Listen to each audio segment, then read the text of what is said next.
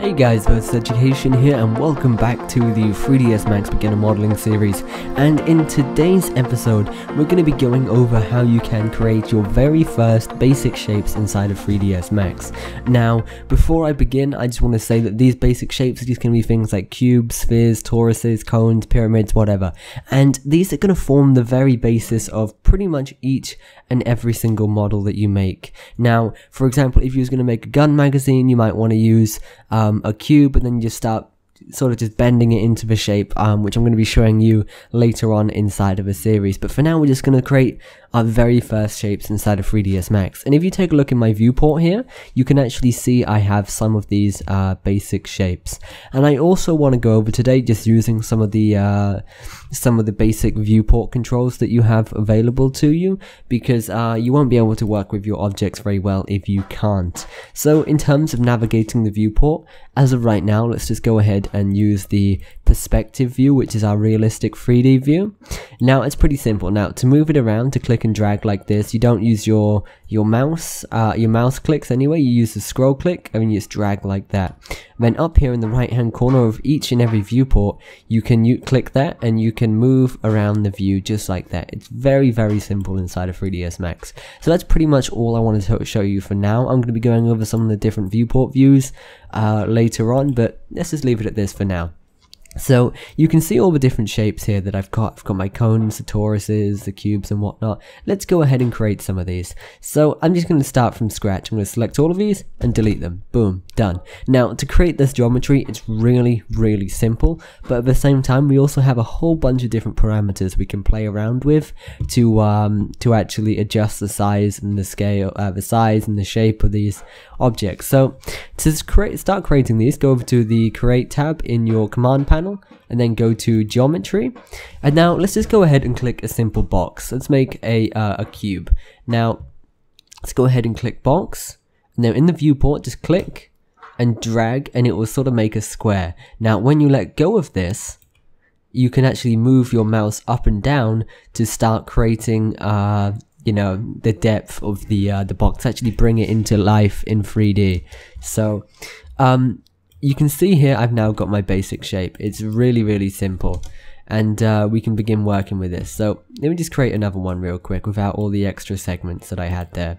So we've got a basic shape here. That's pretty much the easiest way to create our shape. Now we may want to be able to play around with the exact size of these objects by hand. So let's say I wanted to have an exact cube. You can see at the moment it's 91 by 98. It's almost a cube, it looks like a cube, but it's not. So if we wanted to change that, let's just go ahead and set this to the exact settings using the parameters panel here by setting the length, the width, and the height all to the same 55 in numbers just like this. Now, let's say that um, you're making an environment for a game and you have a player that is say 90, 90 high and you're making a door frame, you're going to know exactly how many units you're going to want that in terms of height. So if the player's 90 high, you might want the door frame to be 100 high or whatever. You know, this is one reason why you may actually may actually use the uh, the length, width, and height parameters. But you should be able to understand the use of that. It's pretty simple. It just allows you to define uh, the height, the width, and the length with a little bit more accuracy. Now we've also got something over here called segments, width segments, leg se uh, length segments, and height segments.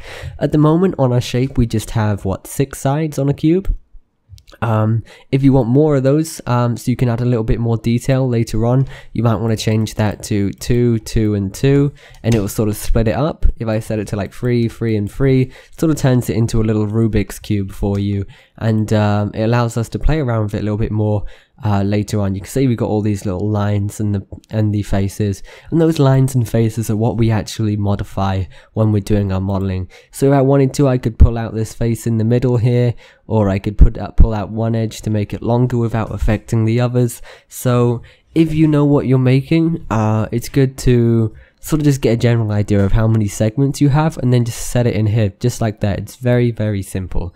Um, we're going to be going into that in a little bit more detail later on. So let's just go ahead and leave that box there for now. I'm going to use the scroll click thing to drag along again.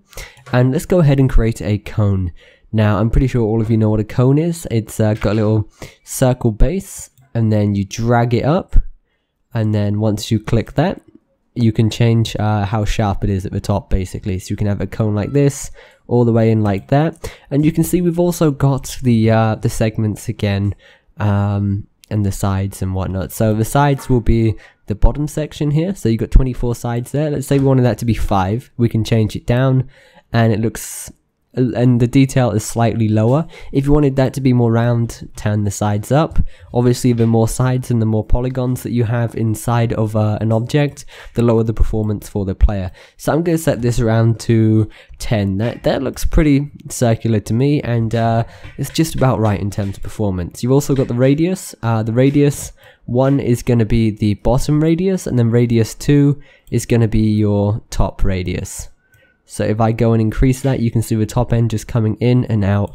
And radius, I'm pretty sure anyone that learnt maths knows it's basically the, the distance from one side of a circle to the other. And then you got your height over here as well.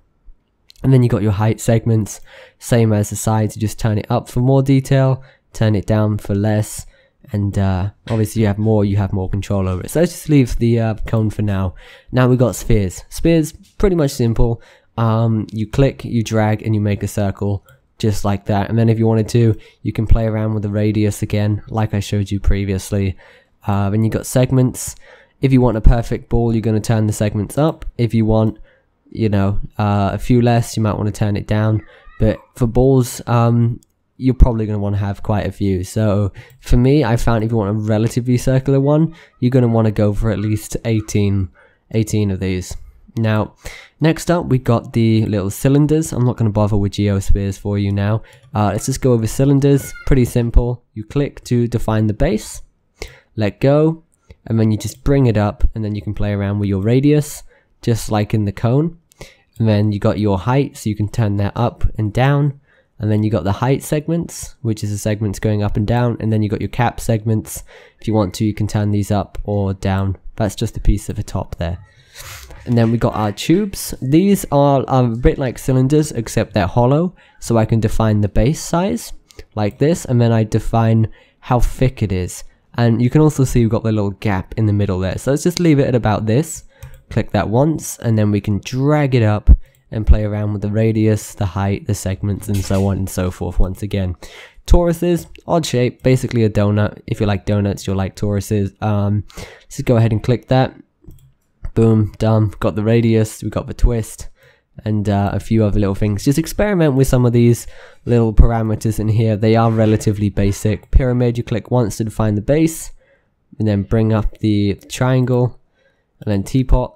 I don't know why they put teapots in here. You might want to make a teapot, but that's entirely up to you. There you go, you got a teapot. And then you got a flat plane, which is essentially um, it's like a 2D shape. It's like a 2D square, but it's flat. It should have two sides most of the time. Uh, you might want to use this for floor rather than using um, like a perfect cube or whatever. Anyway, it's pretty much basically all you're going to need to know for uh, basic shapes. Just play around with some of the parameters that you have available to you. Create some shapes, whether that's going to be boxes, cubes, tubes, toruses, pyramids, teapots, whatever you want. Just play around with that and uh, get ready for the next few videos. So comment, like, and subscribe, and I will see you next time. Goodbye.